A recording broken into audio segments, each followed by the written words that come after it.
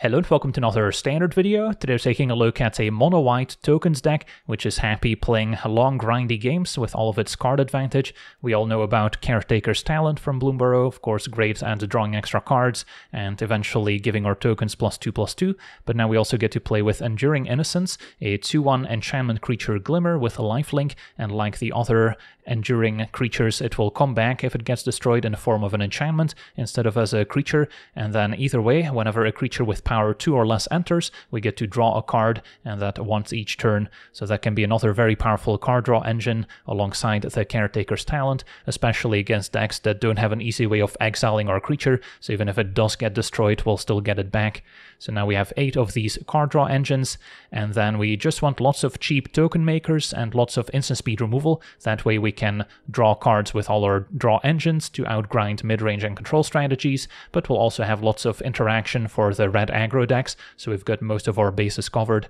So in the token department, we've got Carrot Cake at 2 mana, which makes a rabbit lots of scry, can later sacrifice it to gain 3, make another rabbit and scry again, so that can be a way of maybe making a token during the opponent's turn as well, so we get to once again draw with the Caretaker's Talent and Innocence, which are limited to one card per turn, but it also counts the opponent's turn, and then we can also make tokens at instant speed with the Virtue of Loyalty adventure, making a 2-2 Knight token with Vigilance, and then the 5 mana enchantment can be cast at a later point. To start pumping up our creatures, can be great to go over the top in case we maybe don't have our Caretaker's Talent to pump up our tokens.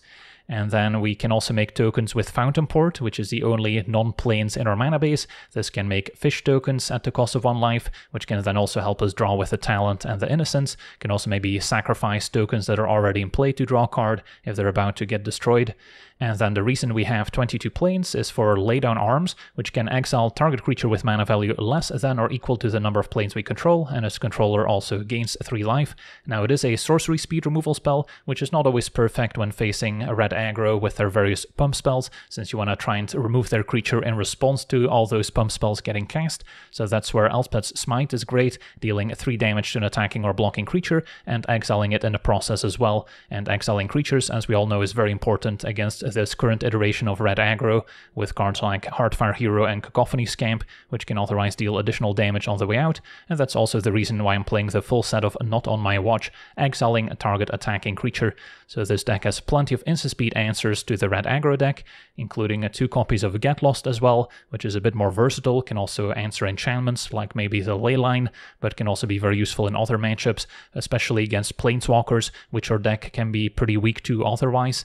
And then uh, rounding out the deck, we also get to play with Split Up as a new sweeper, destroying either all tapped creatures or all untapped creatures, so it's quite versatile. Can sometimes be a little awkward with the vigilance on the Knight tokens from Virtue, but it does also play well with cards like Elspeth's Smite, since if we're making an unusual attack, our opponent might suspect Smite and therefore not block our creatures, and then now they're tapped, and second main we can cast Split Up, destroying all untapped creatures, for instance, so there's a little bit of synergy there. And then a Split Up also gets the nod over Sunfall in this deck, since we don't want to be exiling our own Enduring Innocence. In fact, if we suspect the opponent is running Sunfall, it can sometimes be correct to use Split Up or maybe Get Lost to destroy our own Enduring Innocence, so we at least get the enchantment back, as opposed to having our creature exiled. So yeah, that's our deck. Now let's jump into some games and see how the deck does. Okay, we're on the play. Our hand may be lacking a bit of removal for the aggro decks, but Carrot Cake and Enduring Innocence play well with each other. And then we get to scry into whatever we need. Definitely want to start by playing the plains for laydown arms. Opponent on what looks to be a red-white tokens deck, so this is going to be a very grindy matchup. And one where we prefer Enduring Innocence to get destroyed, so it doesn't get exiled by an opposing Sunfall. Opponent Jeskai Callers. Right, get in for one. And then now if our opponent's keeping up a counter spell, if they're more of a control deck instead of a tokens deck, I guess I prefer them countering the Innocence over Talent, since there's probably more ways they have of exiling the Innocence than the enchantment. And yeah, no more lies will counter it. Next turn we can maybe try the Talent, or we could sit back and start activating Fountain Port. Which is also an option. So we'll attack for one.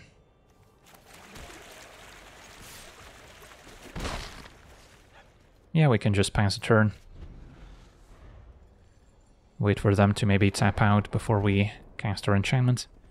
Demolition Field's too bad, that can destroy a Fountain Port. Good thing we have a backup. Don't often see Demolition Field in three color control decks. Usually reserved for two color control decks since it can be a strain on your mana. If they get a plains, they can still keep up another No More Lies to counter the talent. Alright, so now we don't need to worry about it as much. So yeah, I think I'm down to cast it now. And then we can expect a sweeper next turn. But I think I still level up here, since it pretty much guarantees the card draw. Could have maybe attacked first. And then we can keep Carrot Cake as a way to make a token in the opponent's turn, so we can maybe draw two cards in one turn cycle of the talent. So time for Sunfall. Would keep the opponent tapped out, so we can maybe resolve another card draw engine if we find it. Get Lost could also be a way of destroying our own Enduring Innocence if it's about to get exiled. And now if they pass with mana up, we could just level up the talent. So yeah, opponent forced to wipe the board, it's gonna be a Brotherhood's End. So this turn we could both sack Carrot Cake as well as use Fountain Port. So we'll maybe start with a carrot cake.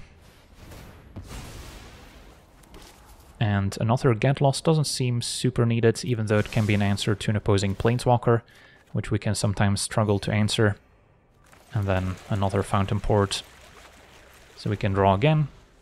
Not in a hurry to get this to level 3. So we've got plenty of answers to creatures.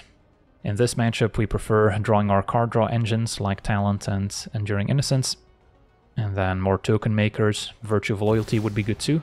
As we see Jace, yeah, Jace could be kind of a problem. If they have four of those, they could easily mill us to death. Since our deck is somewhat slow to close out the game, we do tend to draw a lot of cards. So yeah, they're just going to mill us for the max amount, 15. Still 30 cards left. So if they have two more copies of Jace in hand, we're in trouble. So all we can do is just try and apply pressure as much as possible. And that means probably leveling up the Caretaker's talent. As we draw another one. So can level up and then still cast it, that's fine.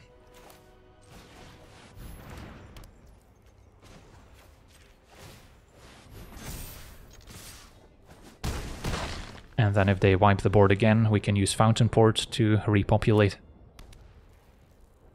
So yeah, the lands are pretty important. Chandra's next, that's a good one. Can start by dealing with both creatures. And then the question is whether we get lost to remove it, or let them untap with it, which could be dangerous. Yeah, we probably need to use get lost, and then Let's see, I would have 6 mana left, so I can still use Fountain Ports and maybe level up a talent. Yeah, I don't have the mana to cast another one. Well, we did end up finding all four. So, level up. And use Get Lost. So that's our final answer to Planeswalkers, since we bottomed the other copy of Get Lost. So now we need to get there with our creatures. Opponent's got the Sunfall, as we suspected. That's fine. We can get back on the board with uh, talents, activate Fountain Ports. Can do it main phase. And then maybe we'll draw another token maker during the opponent's turn.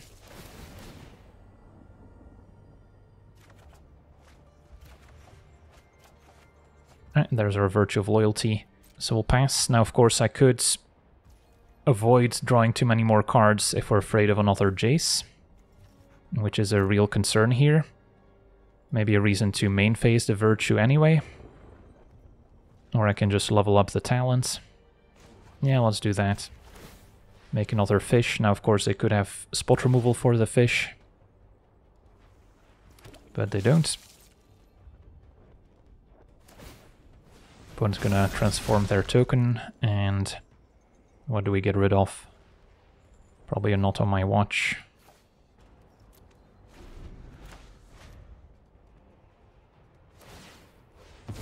Opponent goes exploring. Finds a lockdown. Good answer to all our tokens, but doesn't answer the talent. But yeah, now Jace is definitely going to be lethal since I don't see us closing out the game before going down to 15 cards. So attack for 4, can take it.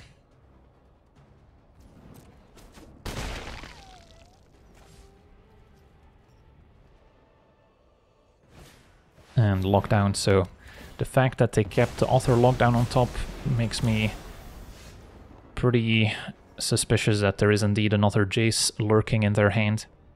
And yeah, there's no real great way to stop it. If I main phase a bunch of tokens, they get swept up. So maybe we just play the Innocence, and then I can make more tokens in the opponent's turn.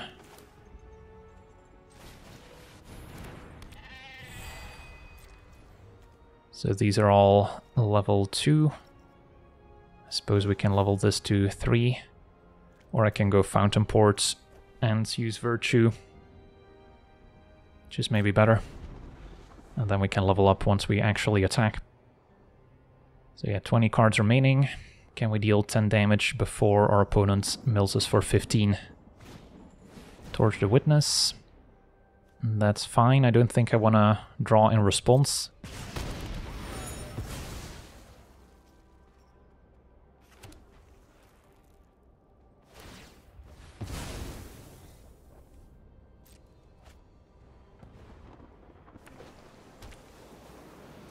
And then now we can make a knight.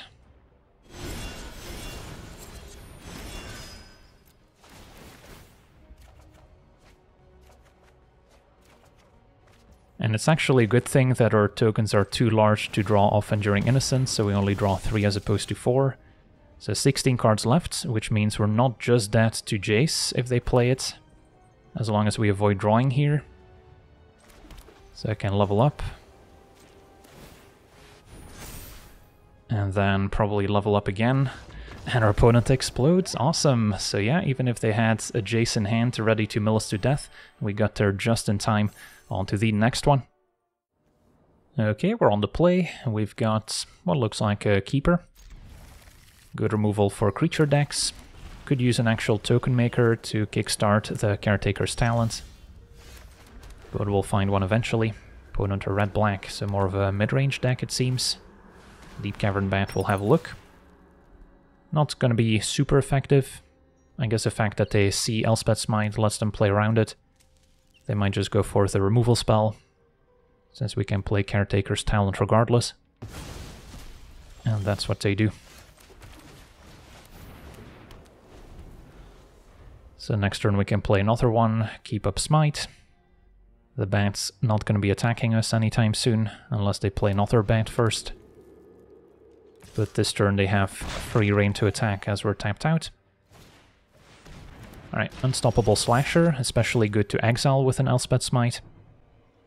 So, instead of playing the Talent, we'll play the Innocence. So at least we have a blocker in case they have another bat to take the Smite.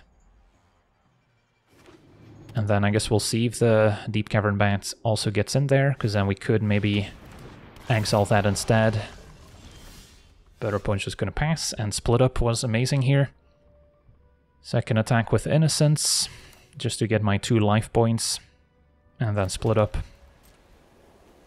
I guess never mind with Archfiends, we would also lose two life. I guess there's still a chance they take it. If they're afraid of Smite, if we drew another copy, for instance. But yeah, opponent's gonna block.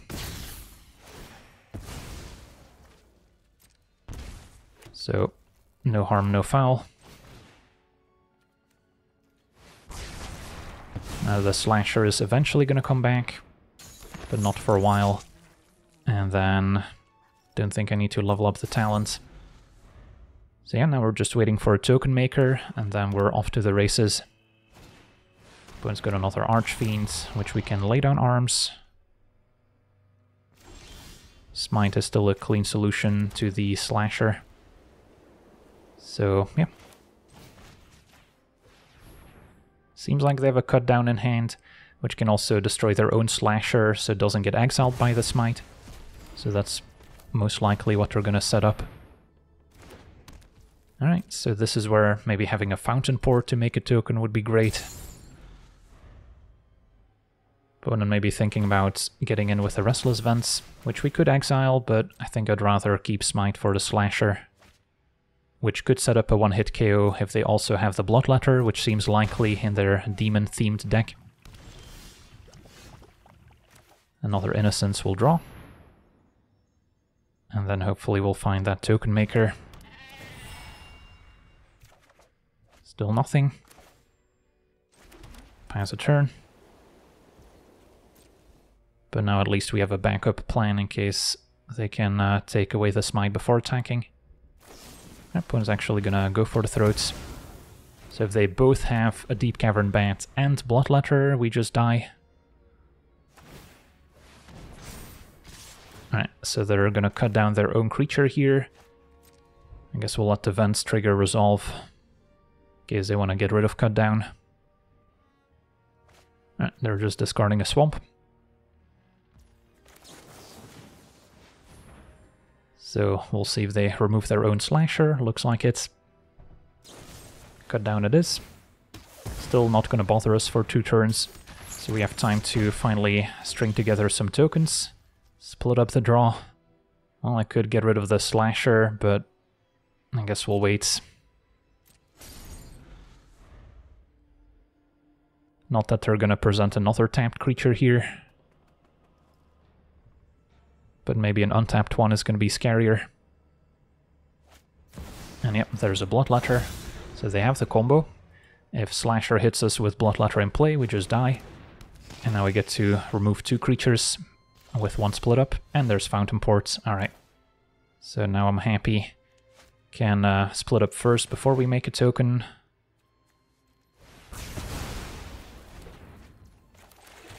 And then I guess we'll just make a token now, even though I wouldn't be able to make more tokens in their turn. Might just be worth it to level up the talents. Lay on arms I could cast right now, but I'll wait. And then now at least we have two fish tokens. So I can maybe level up talent once again. And then the damage is gonna pile on pretty quickly if we level them both to level 3.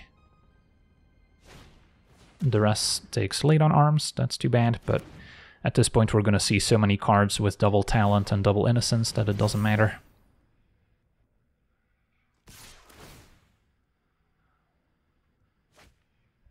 And the Slasher's going to have a real hard time attacking past all our tokens, so I'm not too worried about the combo either. So maybe start by leveling up here.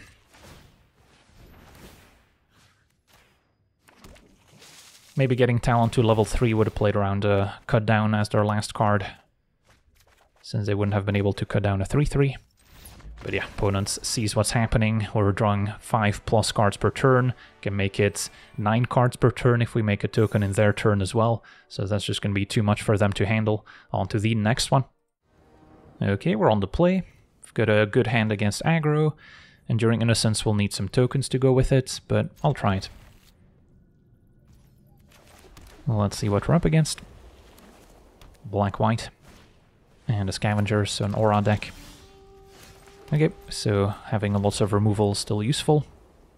I'll wait for them to commit an enchantment before I try and remove the scavenger. And a bandit's talent. Alright, that's kind of annoying. I might want to get rid of two lands here.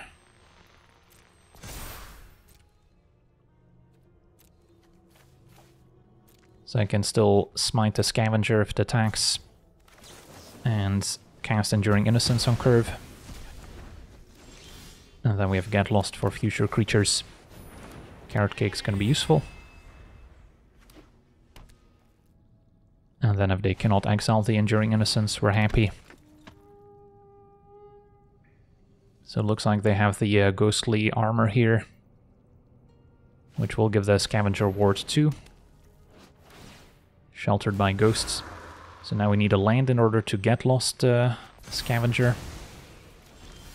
Split up, I guess, works too.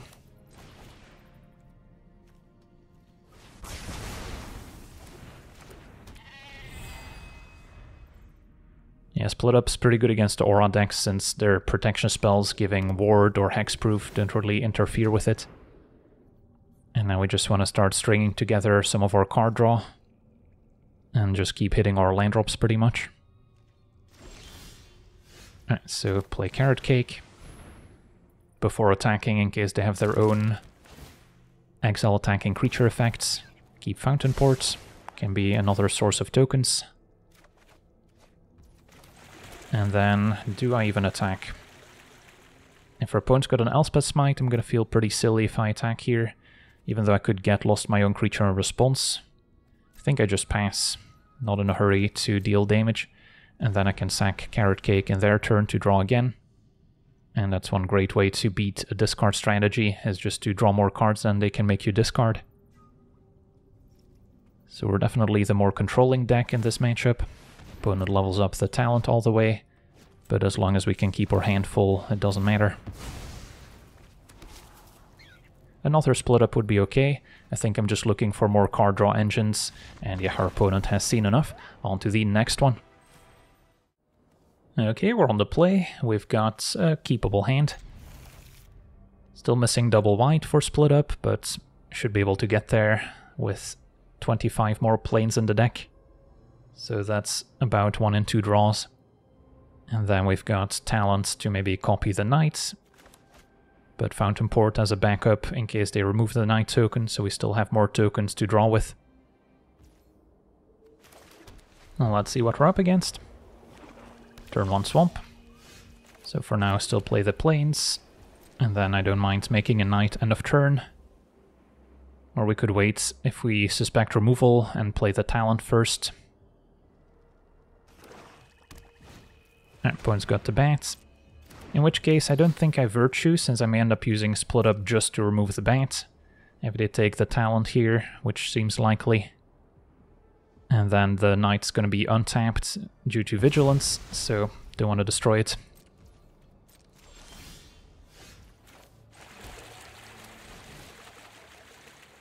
Now I could also wait until I have enough mana to remove the bat and cast a talent, in case they've got more bats in hand. Gonna be a Liliana now. Planeswalkers can be tough for us to deal with, since we don't apply a ton of pressure to them. For now, not on my watch can go. And then we're gonna go with a pair of token makers as opposed to Caretaker's Talent, I think. And since they have Demolition Field, I may want both copies of Fountain Port available. Yeah, normally I would slam down Caretaker's Talents, but Liliana makes things a little sketchier. Could still try the talent first, but then Liliana's going to be on 5 loyalty before we can try and attack it. So, let's Carrot Cake plus Virtue. Get Lost, of course, would be great. Lay Down Arms, not as much, since we only have 3 plains at most. And I'm most likely going to discard one. So if our opponent can successfully protect Liliana, we could be in trouble. We see Deadly Cover-Up, so it might be a more controlling deck. Opponent keeps plussing. Gonna try and hang on to the Caretaker's Talents. And a Deep Cavern Bat, so that takes a talent. But it's not a great blocker for our tokens at least, so Enduring Innocence was a good draw too.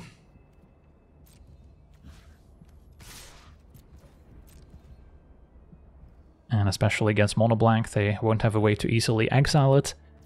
So if it's destroyed, we'll still have the enchantment left over. You know, Alright, so we're empty-handed. Liliana's not gonna threaten an ultimate anytime soon. And we've got a card draw engine Although our opponent has one as well now, with Gix and the Bat.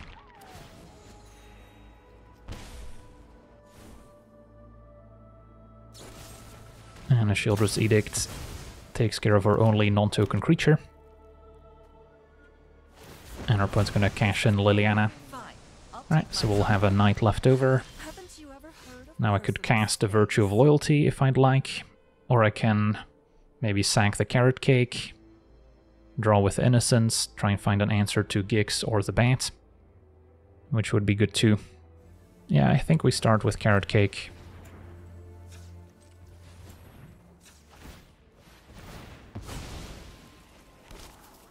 Don't need plains anymore. And draw plains anyway. Alright, so we can at least try and double block Gix. Another Liliana. Now means they can minus, and I don't have a great double block left. Opponent's gonna plus instead. Maybe afraid of another removal spell that can target an attacking creature. So that happens. And then I probably end up sacking the rabbit token to draw, since we need to find some answers. Opponent's gonna alter bats. So yeah, now they would be drawing two extra cards with Gix each turn. Once we answer Gix, we can also attack Liliana, so then we should be fine.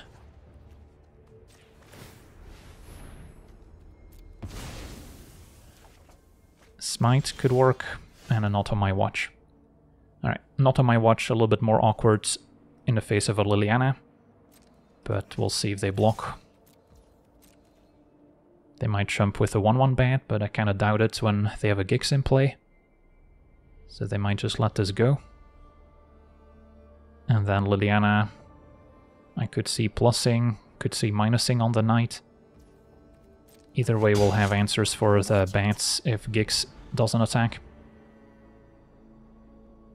And we could also use Fountain Port to make a token, but only sending in the 1-1 bat that doesn't have anything underneath. Makes sense.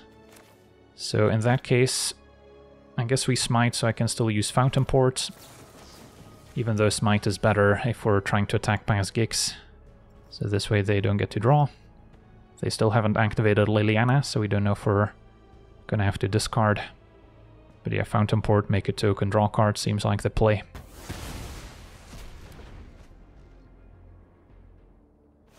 So they're looking at Demolition Fields.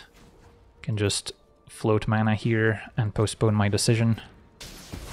Hopefully they don't have a second Demolition Field.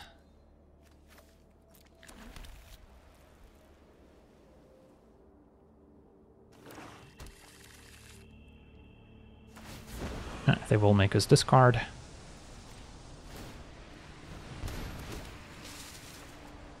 And not on my watch. Can go keep the carrot cake to draw more cards. And a caretaker's talent, perfect. So now I'm not too worried about Liliana ultimating.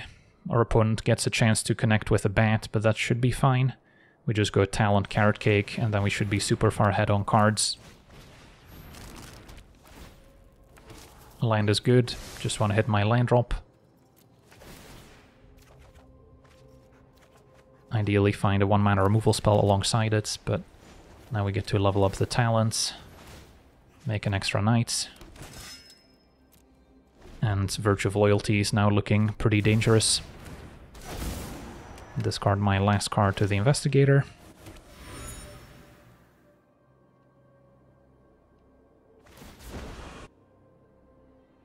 Don't overthink things.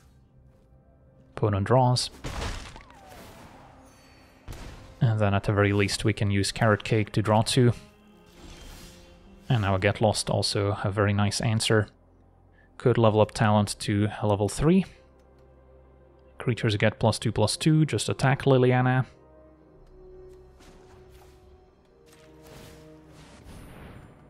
And then I still have a few options.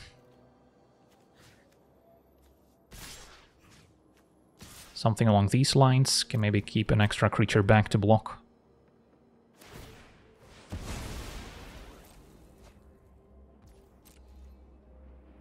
But yeah, I doubt they're gonna protect Liliana. And then now, if we remove the bat, they don't have any great attacks left. So I'll just pass. Sheoldred can punish the card draw. Still have plenty of answers to it. Blast Zone doesn't get to destroy my token since it starts with one counter, but could eventually get to three counters, I suppose. So yeah, now the question is, are we more afraid of Sheoldreds or the Cavern Bat? If I remove the bat and get back Talent, it doesn't really make the Sheoldred situation any better. So maybe for now it is safer to remove Sheoldreds and then... Sure, they get to draw a card here, but it's not the end of the world. And then my creatures can also keep attacking, since there's no 4-5 Death Touch on defense. Still want to remove Sheoldred before they hit me, so they don't gain as much life. And then we still have this Virtue of Loyalty ready to go. Liliana on top, they're gonna keep. I guess it does pair well with the Investigator, and if we're to draw a bunch of cards each turn, they can keep enabling it. Alright, so this turn we can keep attacking, use smites if they block with Gix, and then cast a Virtue of Loyalty. That's kind of the baseline play. Or we can sack Carrot Cake and start drawing a bit more. But being empty-handed is not necessarily a bad thing here.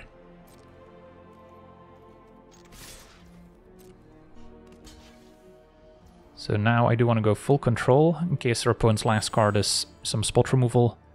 Let damage happen. And then in the end of combat step, we can still cast Smite, since Gix is still technically a blocking creature. But now they can't remove my 3-3 in response to save Gix. So that's an important trick that you need to learn when playing with Smite.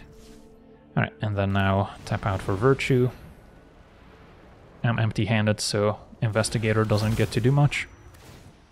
And can sack a rabbit to Liliana. And still threaten a lot of damage.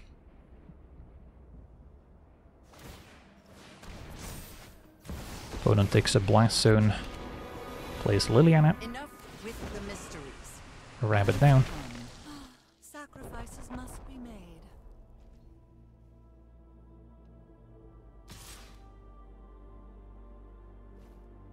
So opponent's going to be at 11. And then now we can sack the carrot cake.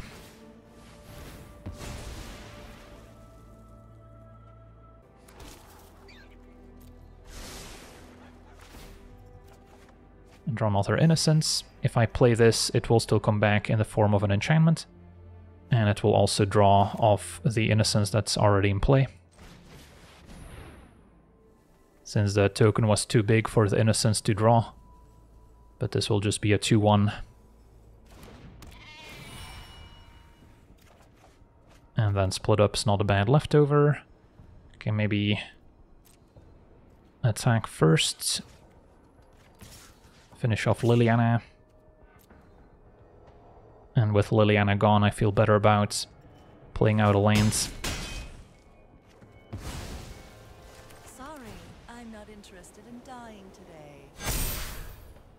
All our creatures are huge. Blast Zone to kind of wipe the board.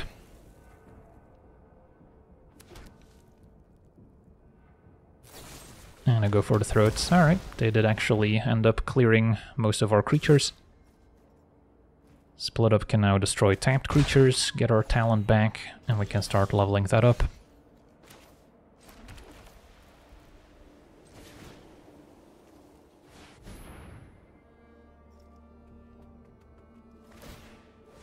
Blast Zone levels up. So Talent activates. And now we get to draw two cards since our tokens are small again.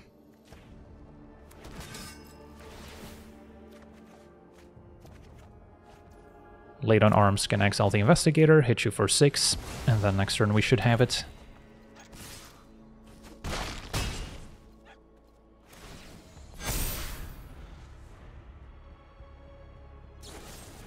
Go for the throat is not quite going to be good enough, and there we go. Awesome.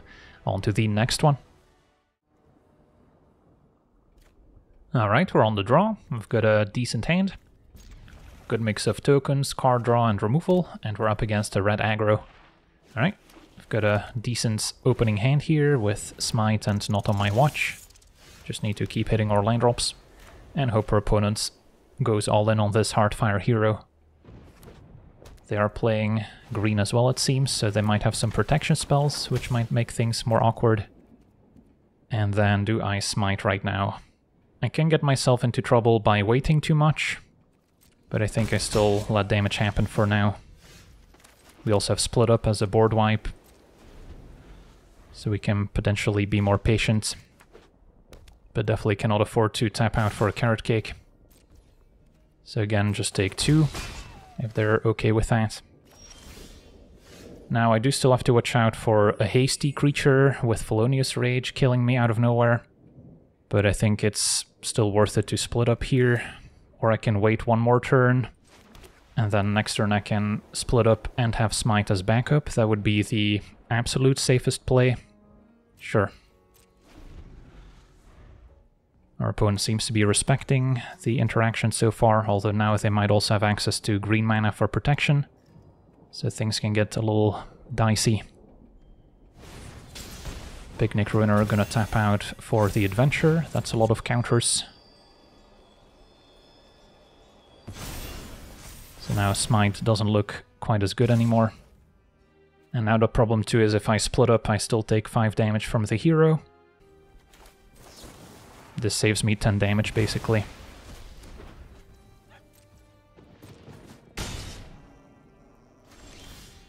Another not on my watch. Does that change my play? I think I still like the split up play here. Alright, so just playing it extra safe. Might have worked out better had we just cast split up on three. Opponent's got two cards left. Challenger's one of them. No blocks, and then could just take two, could try and smite. This does have prowess, so Monstrous Rage could punish me. Opponent's gonna be playing Ruiner's second main. Yeah, I think I do still try and smite here. That worked. So one card left, and it doesn't appear to be a pump spell. Alright, so now I can play the Carrot Cake, keep up not on my watch, and look for maybe an extra land. And then we can finally get the talents going. Lay Down Arms has to be good enough as well.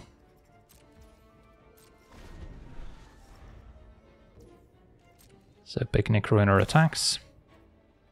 Can just take it for now. Happy taking two.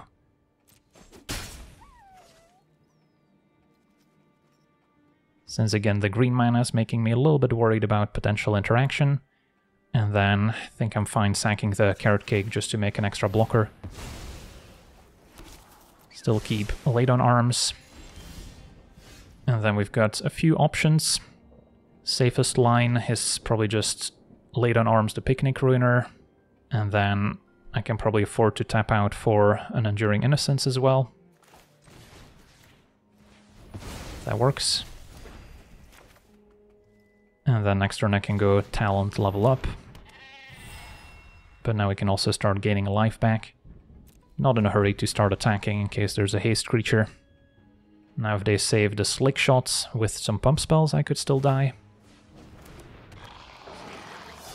Scamp is also scary if they could give it haste, but now we should be fine. So I can play talents, but then it's a little risky to level up.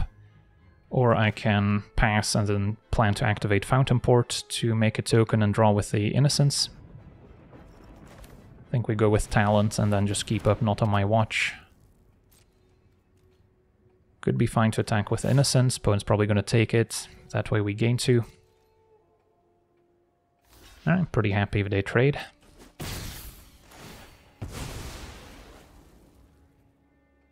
One fewer creature that could threaten to combo kill us. And then still gonna play it extra safe, keep up not on my watch. We're happy playing a long game, so I'm just gonna give myself the best chance to not get comboed. And yeah, our opponent's gonna scoop it up, just too much interaction coming their way. Awesome. Alright, so glad we got to showcase the mono red matchup as well, which is why I've made some of the card choices like Elspeth Smite and Not on My Watch. That's where it truly shines.